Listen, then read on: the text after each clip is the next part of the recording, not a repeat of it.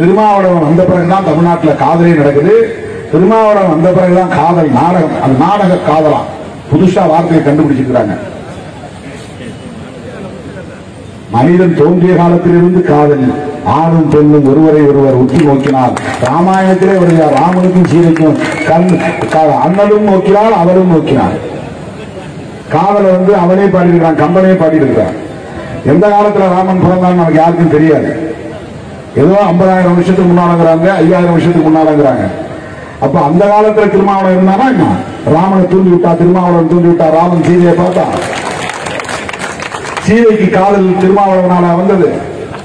எவ்வளவோ பேர் வந்தா யாராலையும் வில்ல எடுக்கவும் முடியல வில்ல முறிக்கவும் முடியல. அது வில்ல முறிச்சிட்டு இவன் போய் தாலி கட்டிருக்கிறான் ஆனா அதுக்கு முன்னாடி வில்ல எடுக்கிறதுக்கு முன்னாடி உற்று நோக்குகிறான். அண்ணனும் நோக்கினான் அவரும் நோக்கினார் காதல் வந்த பிறகுதான் வில்லையை அவனால எடுக்க முடியுது. அந்த எனர்ஜியே காதல் வந்த பிறகுதான். சீனை பார்த்த பிறகுதான் வருது. சீனை வந்து ராமனை உச்சி நோக்கிறா காதலோடு பார்க்கிறா. அந்த காதலோடு பார்த்த பிறகுதான் ராமனுக்கு வந்து எனர்ஜி வருது. அந்த அந்த வில்ல அவன் தூக்குறான். வளர்ச்சி பா நாட பூட்டுறான். காதல் என்னைக்கே மனிதன் தோன்றிய காலத்திலே வந்தது. அப்பாவி வன்னியர்களை ஏமாத்துறதுக்காக திருமாவளவன் வந்து தான் ஜீன்ஸ் பேண்ட் போட்டுக்கிறாங்க டி ஷர்ட் போட்டுக்கிறாங்க கருப்பு கண்ணாடி போட்டுக்கிறாங்க கூலிங் கிளாஸ் சொந்த சமூகத்தை இழிவுபடுத்துவது எவ்வளவு அற்பமான அரசியல் ஒரு கூலிங் கிளாஸ் போட்டா பெண்கள் பின்னாடி போயிடுவாங்களா? ஜீன்ஸ் பேண்ட் போட்டா உடனே அவங்க பின்னால போயிடுவாங்களா? அவ்வளவு பலவீனமானவர்களா பெண்கள்? அதுவும் நம்முடைய சொந்த சமூகத்தை இழிவுபடுத்துகிறோமே என்கிற எண்ணம் வேண்டாமா? திருமாவளவனை பழிவாங்குவதற்காக திருமாவளவனை கொலை செய்வதற்காக பிற சமூகத்தை எல்லாம் தூண்டி விடுவதற்காக இவ்வளவு பெரிய அற்பமான ஒரு அரசியலை இந்திய அரசியல் வரலாற்றில் யாரும் செய்திருக்க முடியாது. ஏன்னா பிஜேபி பார்த்து இவன் கா- காப்பி அடிக்கிறதான். அவன் என்ன பண்றான்? லவ் ஜிஹாத்துங்கிறான் லவ் ஜிஹாத். அதாவது அதுவும் நாடக காதலாம் அவன் பிஜேபியுடைய சொல்லாளர் இவன் நாடக காதல் தமிழ்ல சொல்றான் அவன் வடமொழியிலே இங்கிலீஷையும் வடமொழியும் சேர்த்து லவ் ஜிஹாத். அதாவது இஸ்லாமிய ஆண்கள் எல்லாம் வந்து பெரியா இந்து பெண்களை மயக்கி கல்யாணம் பண்ணி அவங்களை முஸ்லீமா மாத்திடுறாங்க. இது முஸ்லீம் விருப்புக்காக முஸ்லீம் சமூகத்தின் மீது வெறுப்பை விதைப்பதற்காக பிஜேபி கையாளக்கூடிய இந்து விரோத உத்தி அது இது வந்து ஒரு ஆன்டி இந்து ஸ்ட்ராட்டஜி இந்து சமூகத்திற்கு எதிரான உத்தி இஸ்லாமிய சமூகத்திற்கு எதிரான உத்தி அல்ல. இந்து மக்களை ஏய்ப்பதற்காக ஏமாற்றுவதற்காக அவர்களின் வாக்கு வங்கியை பறித்துக் கொள்வதற்காக திட்டமிட்டு மோடி கும்பல் நடத்துகிற ஒரு அரசியல். ஆனா அப்படியே இங்க அப்ளை பண்றாரு இங்க முஸ்லீம்க்கு எதிராக பேச முடியாது. இப்ப யாரும் பிஎம்கே முஸ்லீம் ஓட்டே போறது கிடையாது. ஒரு காலத்துல நம்பினாங்க. பழனி பாபா இருந்த காலத்துல. பழனி பாபா ஊர் ஊரா போய் உட்கார வச்சுட்டு ஐயா ஐயான்னு பேசினார். வடலூர்ல கூட பேசினார். நானும் இருந்த அந்த மேடையில. பழனி பாபா கலந்து கொண்ட கூட்டத்தில் நானும் கலந்து கொண்டேன். அந்த கூட்டத்தில் பேசினார். மருத்துவர் ஐயா இப்படி எல்லாம் பேசக்கூடாது என் ட்ரௌசர் கழுத்துங்க என்ன முச்சந்திரி நிறுத்துங்க. என்ன விசாரணை நடத்துங்க. என்ன சவுக்கார நீங்க எல்லாம் பேசக்கூடாது. தலித்தில் ஓட்டு போட்டாலும் சரி ஓட்டு போடலனாலும் சரி நாங்க உங்களுக்கு பக்கபலமா இருக்கிறோம் அப்படின்னு இஸ்லாமிய சமுதாயத்தின் சார்பில் அவர் பேசினார். அந்த பழனி பாபாவே டீச் பண்ணிட்டார். சாக்கடை வச்சு எழுதிட்டார் இந்த சமூகத்துக்கு எதிராக எந்த வாய்ப்பையும் கொடுக்கல. ஒரே ஒரு எத்தனை சீட்டு வேணாலும் முஸ்லீமுக்கு ஒரு சீட்டு கொடுத்துருக்காங்களா? பாமகவுல? பாமகவுல எத்தனை பேர் கசாலி இருந்தார்? குணங்குடி அனிஃபா இருந்தார். எத்தனை பேர் இருந்தாங்க. இதுவரை முப்பது சீட்டு வரை அவர் வாங்கியிருக்காரு கூட்டணியில. ஒரே ஒரு முறை கூட தான் பெற்ற இடங்களில் ஒரு முஸ்லீம் கூட இடம் கொடுக்காதவர் தான் ராமதாஸ். ஆனா நான் எட்டு வாங்கினாலும் பத்து வாங்கினாலும் ஆறு வாங்கினாலும் அது ஒரு சிறுபான்மை சமூகத்தை சார்ந்தவர்களுக்கு இடம் கொடுக்க வேண்டும் என்று திட்டமிட்டு சண்டை போட்டு எங்க கட்சியில் ஒரு முஸ்லீம் வேறு சீட்டு சண்டை போட்டு வாங்க. ஒவ்வொரு ஒவ்வொரு தொகுதியை பெறுவதிலும் ஒரு யுத்தம் தான். சும்மா இல்லை இந்த ஆறு சீட்டை வாங்குறது அரசியல் சும்மா கிடையாது. கடுமையான பேரம் நடக்கக்கூடிய ஒரு களம் ஏனென்றால் இது அதிகாரம் வெறும் புகழ் கிடையாது. சினிமாவில் வெறும் புகழ் பணம் அவ்வளவுதான். அரசியல்ல அதை தாண்டி அதிகாரம் என்று ஒன்று இருக்கிறது. அந்த அதிகாரம் தொடர்பான களத்தில் எப்படி பேரம் நடக்கும் என்பது உங்களுக்கு தெரியும். அந்த பேரத்தில் நாம வந்து கொள்கை சார்ந்து தான் நாம் பேசுறோம் எங்களுக்கு வந்து ஆறு பேர் அல்லது பத்து பேர் கேட்கறோம்னா அது பதவிக்காக கேட்கல. யுத்தம் நடத்துகிற தளபதிகளாக படைத்தளபதிகளாக களத்தில் அனுப்புவதற்கு கேட்கிறோம். நாங்க ஆறு பேரை மிலிட்டரியில் சேர்க்கிறோம் ஆறு பேரை பதவிக்கு அனுப்புறேன் நாங்க ராணுவத்துக்கு ஆள் இருக்கிற மாதிரி அனுப்புறோம். ஆறு பேர் பிழைப்பு பிழைச்சுக்கிட்டவங்க அதை வர சம்பளத்தை வச்சு பிழைச்சுக்கிட்டோம் அப்படிங்கிறதுக்காக அனுப்பல. ஆறு பேரை இடங்களுக்கு கேட்டிருக்கிறோம்னா ஆறு தொகுதியை கேட்டிருக்கிறோம்னா ஆறு படை அது. ஆறு நபர் கிடையாது. ஒரு விடுதலை களத்திலே யுத்தம் நடத்துகிற தளபதிகளாக அவர்களை நாட்டுக்கு ஒப்படைக்கிறோம் மக்களுக்கு ஒப்படைக்கிறோம் யுத்த களத்திற்கு ஒப்படைக்கிறோம் விடுதலை களத்திற்கு ஒப்படைக்கிறோம். நாலு பேருக்கு யாராவது ஒருத்தர் உங்க உங்க ஆட்கள் யாராவது பேச சொல்லுங்க.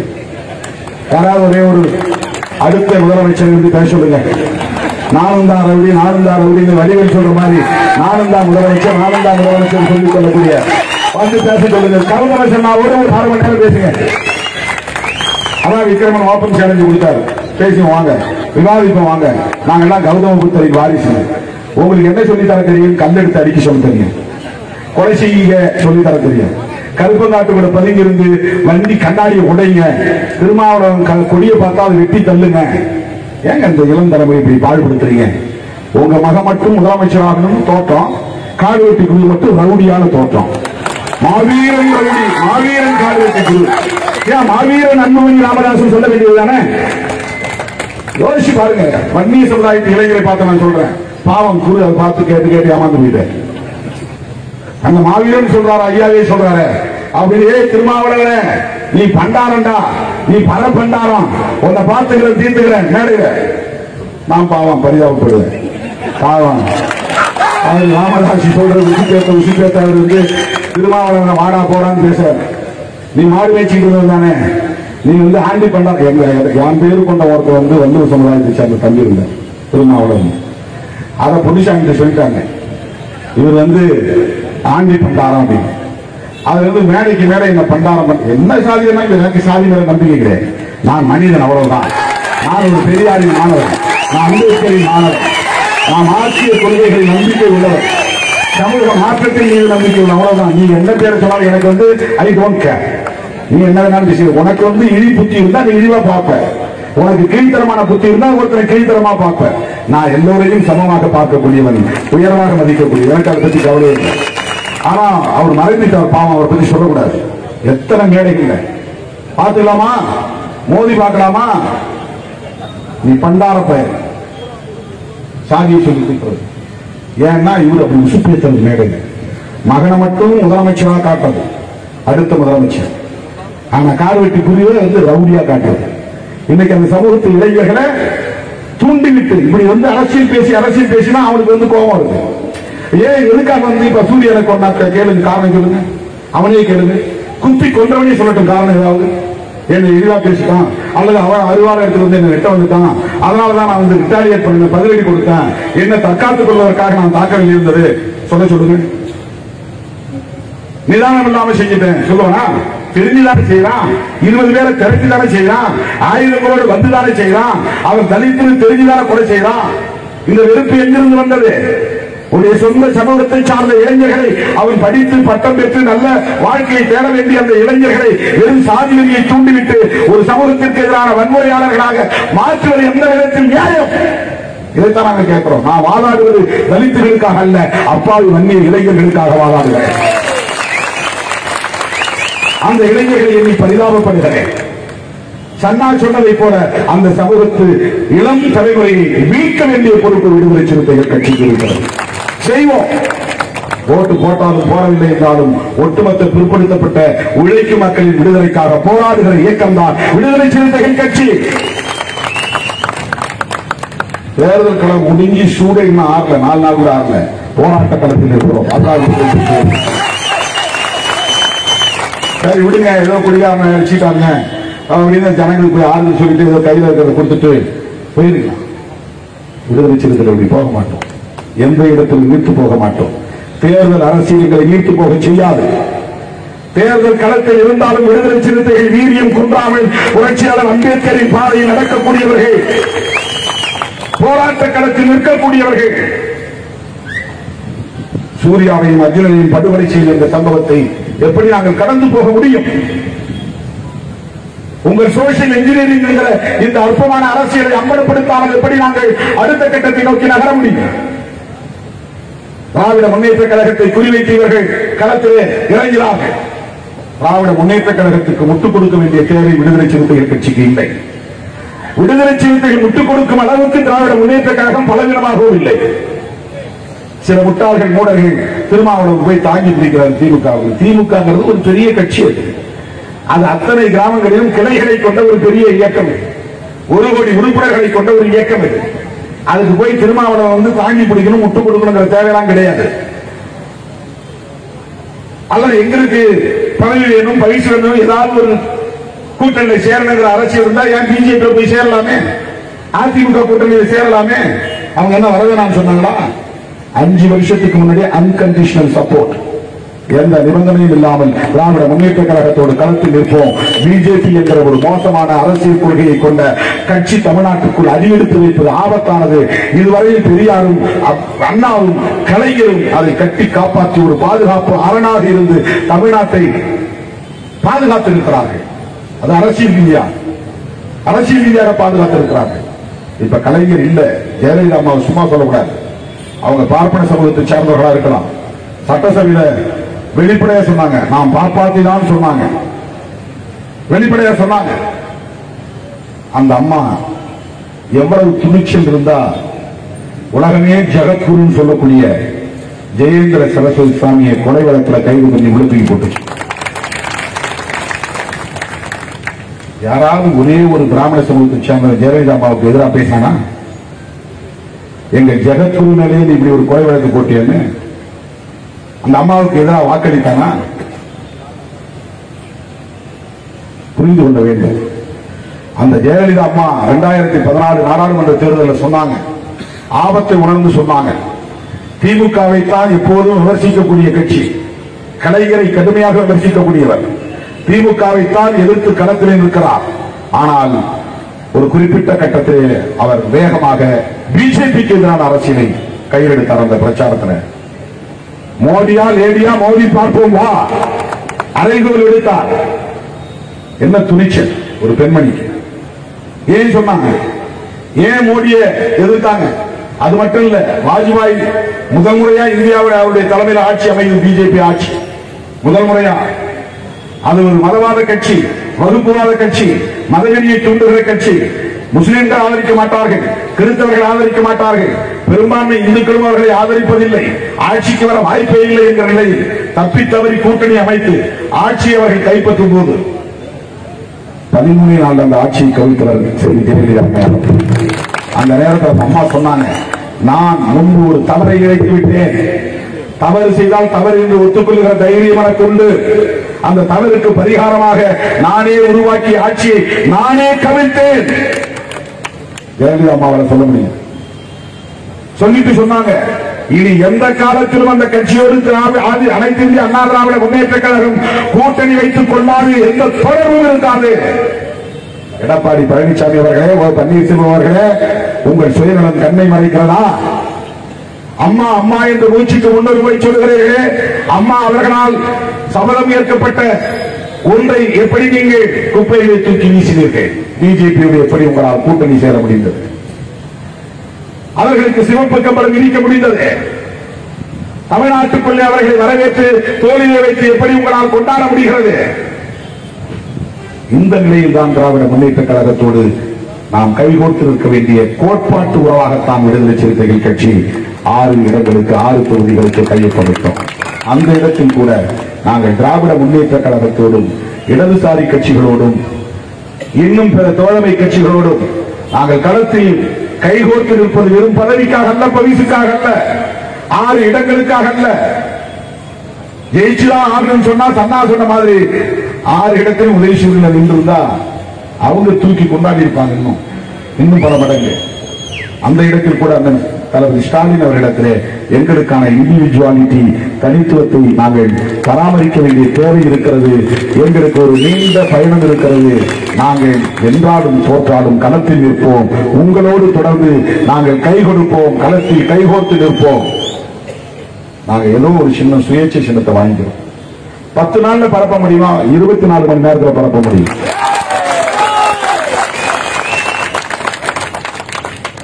எங்கள் தொண்டர்களின் பலம் மட்டுமல்ல திராவிட முன்னேற்ற கழக தொண்டர்களின் பலத்தோடு. ஏன்னா எல்லா கிராமங்களிலும் கிளைகளை கொண்டிருக்கிற கட்சி திராவிட முன்னேற்ற கழகம். நீங்க நினைச்சா உங்க தொண்டர்கள் இருபத்தி நாலு மணி நேரத்துக்குள்ள பானை கொண்டு போயிடுவாங்க. மக்களுக்கு இப்ப வந்து அரசியல் விழிப்புணர்வு பயங்கரமா இருக்கு. இந்த ரெட்டலை நிக்கிறது எதிர்த்து யார் யார் நிக்கிறாரு கேள்வி கேட்காம ஓட்டு போட போறது இல்ல எதிர்த்து நிக்கிறது யார்? அப்படி எல்லாம் சின்னம் தெரியாம போய் ஏனதானன்னு வாக்குச்சாவடியில் போது ஏதோ ஒரு சின்னத்தில் குத்தக்கூடிய அளவுக்குலாம் இன்னைக்கு தமிழ்நாட்டு மக்கள் கிடையாது. ரெட்டலையே நிக்கிறான். பத்து வருஷம் தொடர்ந்து ஒருத்தர் எம்எல்ஏவா இருந்துட்டான். இந்த பகுதியில ரெட்டலைக்கு தான் நாங்க முதல்ல ஓட்டு போட்டோம். வரையில எங்க பகுதிக்கு வரல. அவன் மணல் திருட்டு கும்பலோடு தொடர்புடையவனா இருக்கிறான். அவன் வீழ்த்தவன் எதிர்த்து நிற்கிற கட்சி சின்ன எது? கௌதம் சொன்னா நிற்கிறார் பானையில நிற்கிறார் இருபத்தி நாலு மணி நேரத்தில் போயிருச்சு. இருபத்தி நான்கு மணி நேரத்தில் போய்விட்டது. ஏன் இதை சொல்லுகிறேன் என்று சொன்னால் வெறும் பதவி பொய்சுக்காக தேர்தல் களத்தில் கூட்டணி உறவை தீர்மானிக்கிற இயக்கம் அல்ல. கொள்கை சார்ந்துதான் கூட்டணி உறவையும் தீர்மானிக்கிறோம் என்பதற்காக சொன்னது. அதனால இந்த சோசியல் இன்ஜினியரிங் என்கிற பெயரில் இவர்கள் தலித்து வெறுப்பை விதைத்து வைத்திருக்கிறார்கள் சொல்லுகிற தலித்து வெறுப்பை விசிகா என்ற ஒரு அமைப்பின் மீது பழி சுமத்தி திருமாவளவனை அரசியலில் இருந்தே அப்புறப்படுத்தி விட வேண்டும் என்று முயற்சித்தார்கள். விகடன் ரிப்போர்ட்டர் ஒருத்தன் கோவையில பேசுறதை ரெக்கார்ட் பண்ணி வச்சிருக்கிறாங்க வெளியிட மாட்டாங்கிறான் உள்ள போயிட்டாங்க. பேனாவில் வந்து வீடியோ கேமரா வச்சு ரெக்கார்ட் பண்ற சிஸ்டத்தின் படி உள்ள போயிட்டான். அனைத்து சமுதாய இயக்கத்துல. ராமதாஸ் பேசின பேச்சு ரெக்கார்ட் ஆகிருக்கு நீங்க எல்லாம் மியூசியம் வச்சுக்கிட்டு ஆண்ட பரம்பரைங்கிறீங்க. இன்னும் வந்து திருமாவளவனை ஏன் உயிரோட வச்சுட்டு இருக்கிறீங்க? ஏன் அவனை காலி பண்ணாம வச்சிருக்கிறீங்க தூண்டிவிட்டான். அதனாலதான் வந்து ஒவ்வொரு சாதிக்காரனும் ஒவ்வொரு ஆபத்தானவங்க கொண்டிருக்கு நான் எந்த சமூகத்துக்கு எதிராக இதுவரை வன்முறையை தூண்டும்படி பேசியதில்லை. நான் ரவுடிகளை கூட வச்சிருந்தே கிடையாது. ரவிக்குமார் கௌதம சன்னா சிந்தனை செல்வன் ஒன்றிய அரசன் எல்லாம் படித்தவர்கள் மார்க்சியம் லெனினியம் உள்வாங்கியவர்கள் சிந்தனையாளர்கள் சுயமா சிந்திக்கக்கூடியவர்கள் உங்களை மாதிரி கூட எல்லாம் ரவுடி பசங்களை வச்சுட்டு அரசியல் செய்ய- நான் வந்து எனக்கு பாதுகாப்புக்காக ஒரு காலத்தில் கூட முன்னால ரெண்டு வண்டி போ பின்னால ரெண்டு வண்டி போ எல்லாம் தனித்தனியான குண்டர்களா வச்சுக்கிட்டு அவங்க எல்லாம் கராத்தே கத்தவங்க அவங்க எல்லாம் வந்து நாலு கொலையை செஞ்சவங்க பத்து கொலையை செஞ்சவங்க யாரும் என் கூட இருக்க முடியாது. எல்லாம் இன்டலெக்சுவல்ஸ் தான் இருப்பேன் கூட. அடிச்சவன் தான் இருப்பான் விவரம் தெரிஞ்சவன் தான் இருப்பான். என்கிட்ட விவாதிக்கக்கூடியவன் தான் இருப்பான் கோட்பாடுகளை புரிந்தவன் இருப்பான். என்னுடைய பாதுகாப்புக்கு நான் ஒரு நாளும் காவல்துறையையும் நம்பியதில்லை ரவுடிகளையும் நம்பியதில்லை ஆயுதங்களை நம்பியதில்லை. எந்த குறுக்கு வழியை நம்பியதில்லை நான் பாட்டு தனியா போறேன். ஏன்னா நான் யாருக்கும் தீங்கு செய்ததில்லை. அறம் நம்மை காப்பாற்றும். தர்மம் தலை காப்புப்பான்ல அறம் நம்மை காப்பாற்றும். கௌதம புத்தரின் கொள்கைகளை உள்வாங்கி தொடர்ந்து பயணிக்கக்கூடிய ஒரு சமூகம் ஒரு இயக்கம் விடுதலை சிறுத்தைகள் கட்சி வன்முறைகளை திட்டமிட்டு தூண்டிவிட்டு அரசியல் ஆதாயம் தேடக்கூடிய ஆபத்தான சாதியவாத சக்திகளையும் மதவாத சக்திகளையும் அம்பலப்படுத்துவதே எங்கள் பணி. தமிழ்நாட்டு மக்களை இந்திய தேசத்து மக்களை காப்பாற்ற வேண்டும் என்பதே எங்கள் நோக்கம்.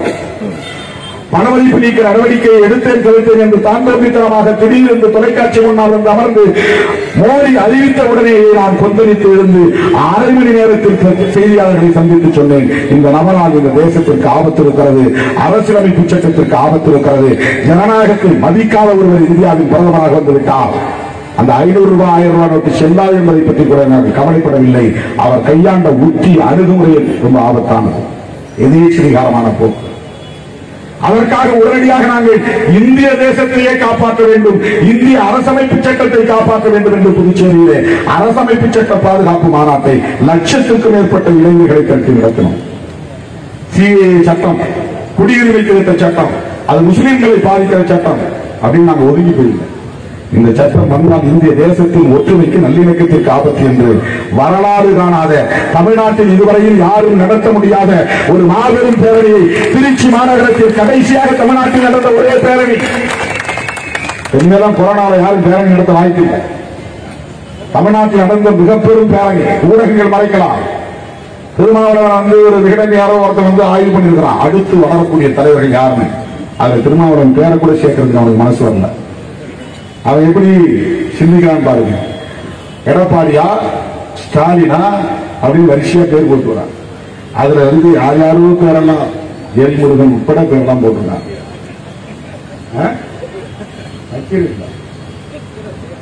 விகடன் குருதான் எனக்கும் விகடன் இந்த விஷயத்தை கக்கியிருக்கிறது அவன் குடிச்சுக்கிட்டு இருந்த நண்பர்களுக்கு இடையில் நடந்த சண்டை. அவன் போய் விசாரிச்சாங்களாம் உண்மையை அப்படியே பதிவு செய்யறோம் போட்டு நான் விகடன் பார்க்காம தெரியும் இவருடைய புத்தி என்னன்னு.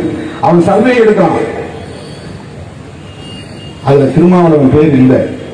திருமாவளவனை நீங்க ஏற்றுவீர்களா அங்கீகரிக்கிறீங்களா தமிழ்நாட்டில் அடுத்து வளரக்கூடிய தலைவர் என்ற வரிசையில் அந்த பட்டியலை என் பேரை சேர்க்கறதுக்கு அவங்க விருப்பம் இல்லை. ஏன்னா நான் ஏற்கனவே ஒரு பட்டியலில் இருக்கிறேங்கிற விருப்பம்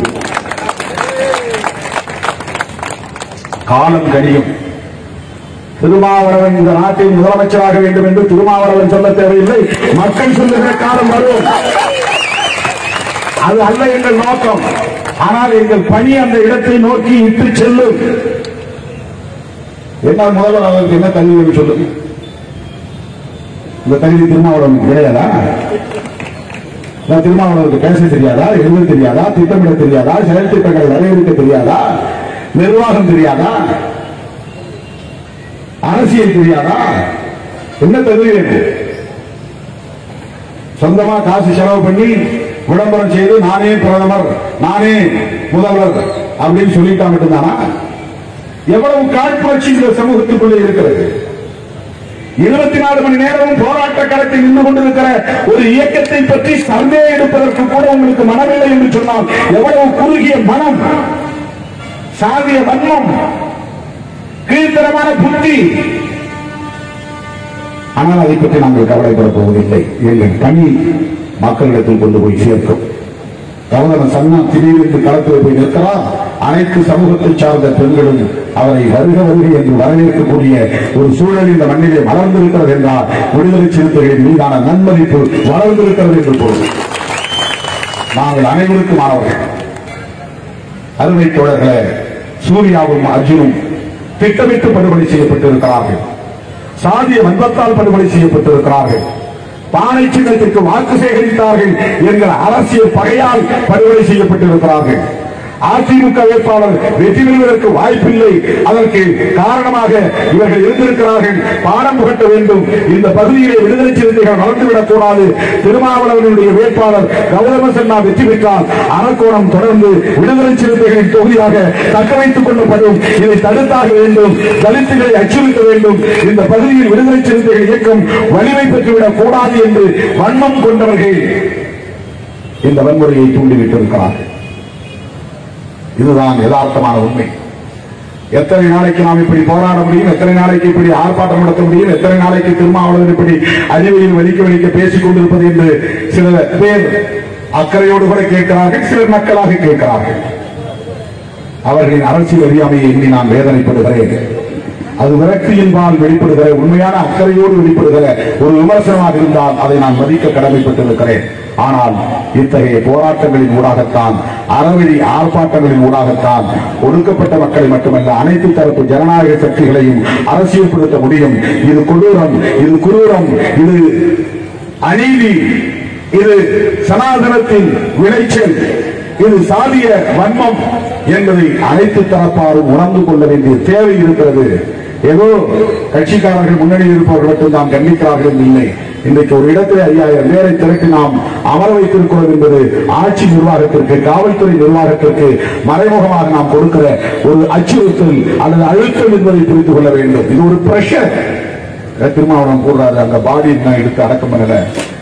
என்ன ஆகுமோ ஏதாகுமோ இதெல்லாம் ஒரு பிரஷர் தமிழ்நாட்டின் அனைத்து மாவட்ட தலைநகரங்களிலும் நூற்றுக்கணக்கானவர்கள் ஆயிரக்கணக்கானவர்கள் நீதிக்கு வந்து இன்றைக்கு முழக்கமிடுகிறார்கள் கண்டன முழக்கமிடுகிறார்கள். இதுதான் அரசியல் படுத்துகிற அறவழி முறை. இதை கடந்து நாம் போய்விட முடியாது. காரல் மாஸ் அதற்கான அறிக்கையை வெளியிட்ட போதே முதலாளித்துவ சக்திகளை பணிவாங்கி விடவில்லை வீழ்த்தி விடவில்லை. அதற்கான பிரச்சாரம் பல தலைமுறைகள் நடந்தன. அதிலிருந்து தான் ஒரு லெனின் தோன்றினான். பல பத்தாண்டுகள் நடந்த கடுமையான விவாதங்களுக்கு பிறகுதான் ஒரு லெனின் தோன்றினான். திருமாவளவனின் தொடர்ச்சியான பிரச்சாரத்திற்கு பிறகு புரட்சியாளர் அம்பேத்கர் இந்த சமூகத்தில் இருந்து ஒரு மாபெரும் புரட்சியாளர் உருவாவார். அடுத்த தலைமுறையிலே. அவர்களின் அணுகுமுறை நேராக இருக்கலாம். ஐம்பது ஆண்டுகால அறப்போராட்டத்திற்கு பிறகுதான் ஈழத்தந்தை செல்வா நடத்திய பரப்புரைகளுக்கு பிறகுதான் மேலகு பிரபாகரன் என்ற ஒரு புரட்சியாளன் தோன்றினான். செல்வாயே புரட்சியாளராக மாறவில்லையே என்கிற விமர்சனம் வந்திருக்கலாம். இவர் என்ன உண்ணாவிரதம் இருக்கிறார்? இவர் என்ன போராட்டங்களை ஆர்ப்பாட்டங்களை நடத்தி கொண்டிருக்கிறார் என்கிற விமர்சனங்கள் ஈழத்தந்தை செல்வா காலத்தில் இருந்திருக்கலாம். ஆனால் அவருடைய ஐம்பது ஆண்டு கால பரப்புரைக்கு பிறகுதான் உலகமே வியக்கக்கூடிய மேலது பிரபாகரன் என்ற ஒரு மாபெரும் புரட்சியாளர் இந்த சமூகத்தில் திறந்து முடிந்தது. எனவே இந்த படுகொலைகளை கண்டிப்பது அதன் மூலம் உண்மையான விவரங்களை மக்களுக்கு எடுத்துச் சொல்வதும் சமூக விரோதிகள் யார்? ரவுடிகள் யார்? கட்ட பஞ்சாயத்து செய்யக்கூடியவர்கள் யார்? சனாதன சக்திகள் யார்? சமூக நல்லிணக்கத்தை சிதைக்கக்கூடியவர்கள் யார்? தலித்துகளை ஒடுக்கக்கூடியவர்கள் யார்? தற்காலிக அரசியல் ஆதாயத்திற்காக வன்முறை வெறியாட்டங்களை தூண்டிவிடக்கூடியவர்கள் யார்? இவர்களை எல்லாம் அம்பலப்படுத்த வேண்டியது நம்முடைய கடமை. அந்த அடிப்படையில் இருபத்தி நாலு மணி நேரத்தில் நான் விடுத்த அழைப்பை ஏற்று இந்த மாபெரும் ஆர்ப்பாட்டத்திற்கு வருகை வந்த என் உயிரின் உயிரான விடுதலை சிறுத்தைகளுக்கும் ஜனநாயக சக்திகளுக்கும் நன்றி கூறி தமிழக அரசே காவல்துறையே பாதிக்கப்பட்ட குடும்பத்தினருக்கு உரிய இழப்பீட்டை வழங்கு. சட்டத்தின்படி மட்டுமின்றி அரசாங்கத்தின் அடிப்படை அரசாங்கத்தின் சார்பில் கூடுதலாக நிதி ஒதுக்கீடு செய். அவர்களுக்கு உணவுக்கு நிலம் கொடு. குடும்பத்தில் ஒருவருக்கு அரசு வேலைவாய்ப்பை கொடு. குற்றவாளிகள் அனைவரையும் கைது செய். குண்டர் தடுப்பு சட்டத்தில் சிறைப்படுத்து. அவர்களை பிணையில் வெளியே விடாதே. ஜாமீனி வெளியே விடாதே. உடனடியாக தொண்ணூறு நாட்களில் குற்றப்பத்திரிகையை தாக்கல் செய். விரைந்து விசாரணை நடத்து. பிணையில் வெளியே விடாமலே விசாரணை நடத்தி முடி. அவர்களுக்கு உரிய தண்டனையை வழங்கி என்று சொல்லி இந்த வாய்ப்புக்கு நன்றி கூறி நிறைவு செய்து விடைபெறுகிறேன். நன்றி வணக்கம்.